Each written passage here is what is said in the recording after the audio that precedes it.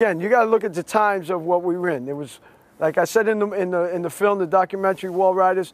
You know, Vietnam was going on. There was police corruption, police brutality. We came from broken homes. My father died in '68. Steve's father left his family, so we came. You know, we had to become men of the families and go out and, you know, like we said, we were delivery boys, making money, putting food on the table, but then also taking care of what we needed to do, expressing ourselves, showing the world, hey, look at us, here we are. You know, my brother and all the other guys were getting drafted into Vietnam, you know what I mean? So uh, they were being sent off. Gangs and drugs were just uh, taking over the, the, the, the city. You know, they killed Malcolm X in our neighborhood.